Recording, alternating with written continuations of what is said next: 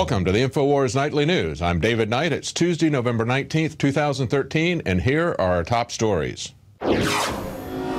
Tonight, InfoWars prepares to take over the controlled narrative of the JFK assassination.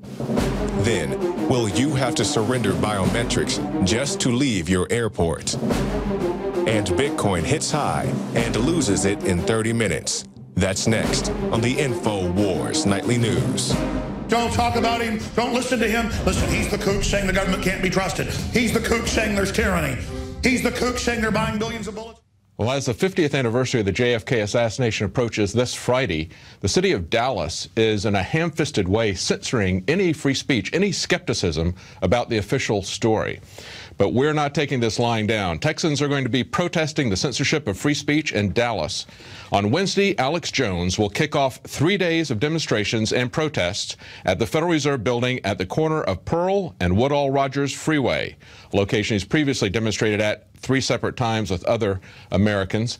We are not going to be pushed aside, as they do at the political conventions, into free speech zones. That is clearly unconstitutional. Look at the First Amendment. This is specifically protected speech under the First Amendment. The right of the people peaceably to assemble and petition the government with grievances. We have grievances. We have grievances about the official story. It does not honor the memory of JFK to not have a honest investigation, to cover up what other people have found, to shove these things aside, to pull out clues and hide them in the National Archives, to literally fill in concrete curbs where uh, shots were ricocheted off. This is something that was a seminal moment in American history. This is when people not only saw an American president shot live on television and then his alleged assassin shot uh, afterwards, this was also a time where we saw government cover ups, government lies, government conspiracies being crafted in real time. Anyone who's alive remembers this. And it was a period of time when we learned that our government was capable of the same sorts of things that we see in banana republics that we saw in Nazi Germany. It was an important lesson, one that we must not forget. And I think it's interesting that just today we learned something about a Nazi assassination, a Nazi cover up. We learned that Field Marshal Rommel, who was involved in a, an assassination plot against Hitler, was actually forced to commit suicide. Now, this happened back in 1944, and the doctor who was who falsified the report under threat of being killed by an SS officer, Dr. Friedrich Breiderhoff, actually made a report to the police in Cologne in 1960. He filed a seven-page report. He was bothered about the lie. He was bothered about the cover up of the forced suicide. But this did not come to light until just now. So here we are 70 years later, and these documents are coming out. The truth will eventually come out. Most of the documents that the government has about the JFK assassination are still sealed. They're still secretive, even after 50 years. And of course, there have been many, many, many witnesses who have died under unusual circumstances.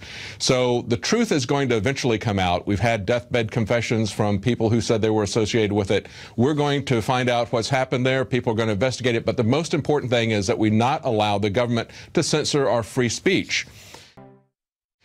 The New American reports that hacker Jeremy Hammond who hacked Stratfor emails, has been sentenced to the maximum sentence of 10 years for his crime. Now, he slammed government crimes. He said that the U.S. government was deliberately allowing Mexican cartel assassins into the United States. This was gleaned from the Stratfor emails that were hacked. And another explosive revelations from the massive hack produced more evidence that federal authorities in the U.S. have been quietly supporting certain Mexican criminal empires, especially the Sinaloa drug cartel.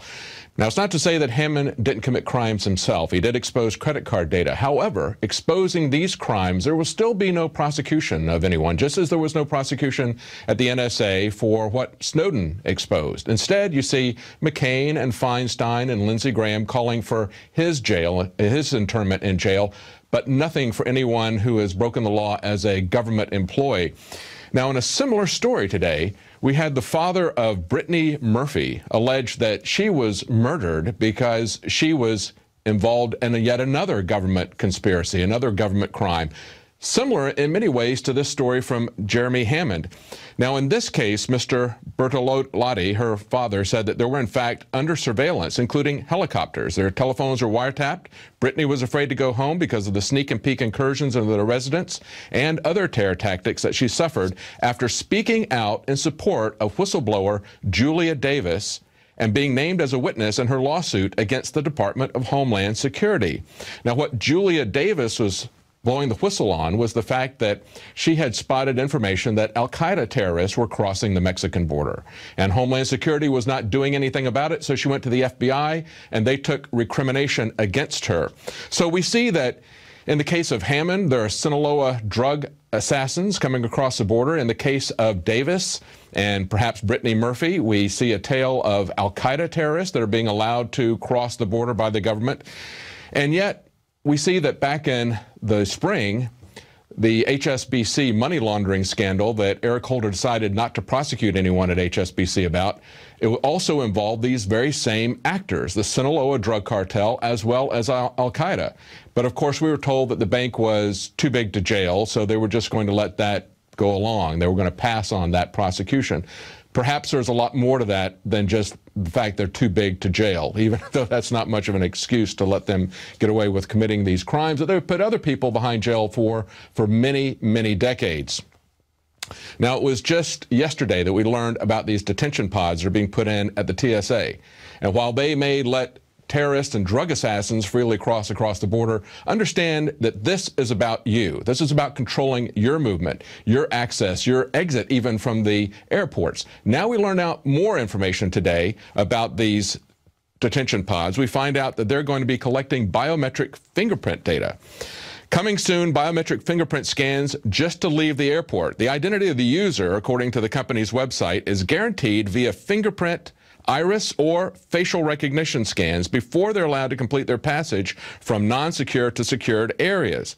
Well, they've already vetted you. They've already scanned you. If you're leaving the airport, supposedly you've already passed through all of their scans. And this is creating a very dangerous situation, just like the lines to get into the airport create a very dangerous situation for mass shootings, for bombings. You've got a lot of people massed at the entrance to the airport. Now, if there is a fire or if there's some other kind of disaster, people will not be allowed to quickly and safely exit the airport.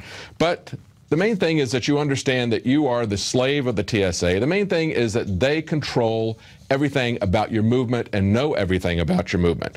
But don't laugh at this ridiculous charade. We were warned about that a couple of weeks ago. We had a recording from the Houston airport and we played that and did an article about it. We had one of our callers call in yesterday on the Alex Jones show, and he actually questioned the TSA about their authority for threatening to jail people who joke about the TSA. Well, what is going on with Bitcoin? Now, a lot of people are looking for ways to escape the prying eyes of the federal government and its control, and so they're looking at alternative currencies or ways that they can store value or ways that they can move money out of the country. And so a lot of people are looking at Bitcoin, but we've seen wild fluctuations and volatility over the last few days. Just back on Friday, it surged to $400. Then by Sunday, it was 500. Then by Monday, it went up to 600. And late Monday night, it got up to $900 and then dropped below $650 in just 30 minutes. So it dropped from $900 to $650 in just 30 minutes. Well, there have been hearings this week that involve the FBI, Homeland Security, even FinCEN. And they sound like they're supporting Bitcoin, like they're some kind of laissez-faire free market advocates. Listen to this quote from FinCEN. They said, whenever there's a new type of financial service or a new player in the financial industry, the first reaction by those of us who are concerned about money laundering is to think about the gaps and vulnerabilities. But it's also important we step back and recognize that innovation is a very important part of our economy. So what's going on here as we see these wild fluctuations? Are they pumping and dumping it? Or Are they trying to destroy confidence in Bitcoin? Are they trying to take it over? It's really not clear at this point what's going on. It's a very volatile situation. We'll be watching that carefully as people are looking for a safe haven for their money. Now, as they're manipulating Bitcoin, we've pointed out before that they also manipulate the employment figures. And now today we learned that that's official, that just before the election, they dropped the employment numbers below the magic 8% number just before they held the election. A lot of people called foul at the time. Now, at the time, the former CEO of GE, Jack Welch, tweeted, unbelievable job numbers. These Chicago guys will do anything. Now we learned today that at the Census Bureau, which does the unemployment survey, they knew that these numbers were manipulated.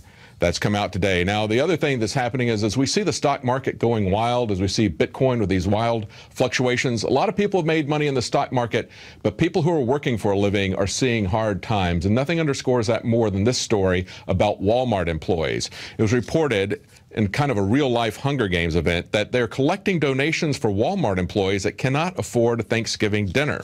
A local news station reported that there are bins being set up in the employee area saying, please donate food items here so associates in need can enjoy Thanksgiving dinner. A very sad sign of the times and a sign that money is being sucked out of this country at an ever increasing rate by these large multinational corporations like Walmart. Now, people will say, I've got nothing to hide, and I don't mind the government listening to my electronic communications. But take a look at this video. Hi, I'm Jack Vale, and I wanted to see how easy it would be to get personal information from complete strangers. And while I'm at it, of course, freak them out a little bit. Keep in mind when you watch this video, I got all of this information just by searching their personal social media posts. And I got it by searching for the closest Twitter, Instagram, and other social media posts to my current location. Stephanie? How do you know me? How you doing? I'm Jack. Did you just make that up and you just said that? No, Elena, right? Yeah. Yeah, no. I, I was just going to say happy birthday. People get creeped out as they should when they realize how they're being listened to. And right after the break, Gigi Arnetta is going to have a report about how the NSA traps you in their spy net.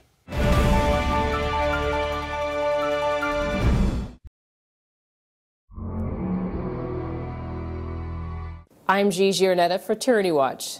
The latest on the spy state includes Los Angeles. There have been Aruba network routers spotted in various areas of LA. Government entities are latching onto this surveillance technique for various reasons, but one of the biggest advantages to this mesh network is that it can be installed and removed quickly without reliance on a fixed infrastructure. Wireless mesh networks are ideal for temporary spy assignments. They can spy and roll. A mesh can be set up and used for monitoring and surveillance during an incident or public event and easily packed up and moved to the next location. Any organization can deploy a wireless mesh network in the unlicensed 2.4 gigahertz and 5 gigahertz band and U.S. public safety band. This mesh wireless system is a great addition to your already intrusive Xbox, which can catch you in various positions and videotape you and expose your personal junk. You thought the TSA was intrusive. At least you had to go to the airport to get violated. Now you can depend on the person who installs the mesh routers outside your home to aid in violating your rights.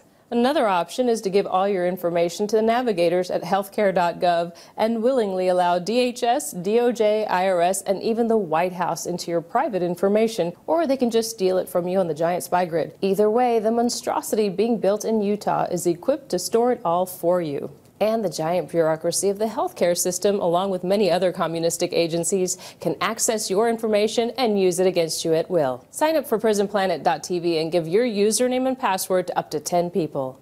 I'm Gigi Arnetta for Tyranny Watch on the InfoWars Nightly News.